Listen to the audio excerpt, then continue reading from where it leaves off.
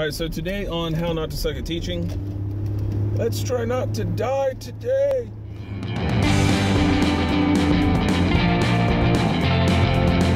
right, so today, uh, today's topic should be fire safety. Um, all right, so fire safety. What is fire safety? How do we prepare for fire safety inside the classroom? All right, one of those things that you see a lot in the classroom is a fire extinguisher. Uh, rule of thumb on the fire extinguisher, and I, I had to have a sit down conversation with our fire guy at least at least once. I know. So my fire extinguisher is by my door, uh, and the and it's kind of a, it was a very necessary thing to have in my room because if there was going to be a fire, there's three rooms in the building that are going to catch on fire. The art room, the home ec or family consumer science lab, depending on where you're from, uh, and then the cafeteria. Those are the three places that are actually going to get caught, that are actually going to catch on fire. There's nowhere else that's going to catch on fire. Yes, the science labs have gas, but most of the time, 90% of the time, the gas main has been turned off and those things don't even work. So, in those situations, yeah, you, you it's not as strict. I and I say that because the uh, my room has a kiln in it. The kiln we fire all the time. The home ec lab they have ovens and we had to check them periodically. And then the the cafeteria that's kind of self-explanatory. They got a whole bunch of stuff. Anyways, my um, my fire extinguisher at one point had a little latch that would mount it to the wall that they they took out the old fire extinguisher and they didn't replace that one by the door. They replaced the one by the kiln room that had like a lock-in, like mini safe in the wall, which I loved. I thought that was great. Uh, but this little latch that was on the on the wall just kept getting bashed by middle school students day in day out. It was just never going to survive.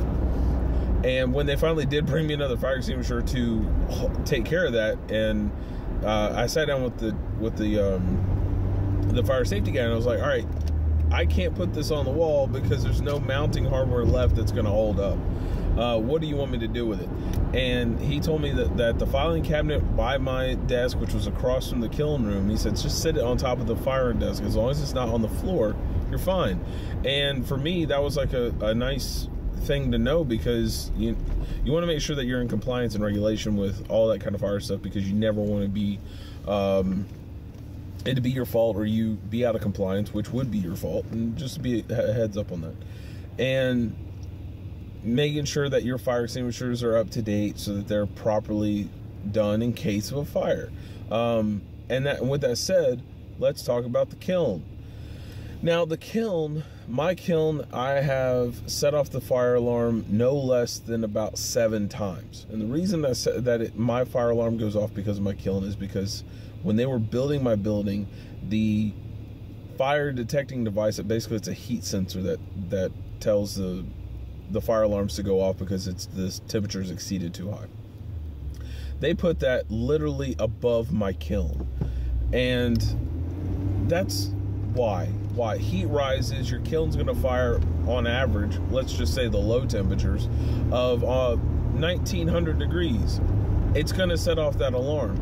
And I got to the point where I was tell, I told my principal and I told him every time I was I'm gonna fire, I'm gonna send him an email, my SRO, and all the other administrators an email that just says I'm firing so that when the alarm goes off and it's coded for my room, they can call the fire department and say, It's the kiln, there's nothing wrong. He he told us ahead of time and everything was fine after that. But it took about three or four times that happening before we were all oh let's just do this and make it simple on ourselves. So fire safety for your room know what happens where like where all your sensors are how to procure and safely take care of all the equipment that's in your room uh, which is should be a no-brainer but sometimes you just don't know ask somebody. If you don't know about this material, you don't know what this thing does, ask somebody. Uh, your, your plant custodian, uh, your plant engineer, your head custodian, either one of those guys know what that what that is, and you can ask them, and they'd be happy to help you out. Because here's the thing: if you're making their life easier, they're happy to help you make their life easier, as as it is with most with most guys. So, helpful tip for the day. Other than that. Um, if you liked the video, give it a thumbs up. If you didn't like the video, okay. Uh, a subscribe is always appreciated, and thank you very much. And as always, I will see you guys next class. Later.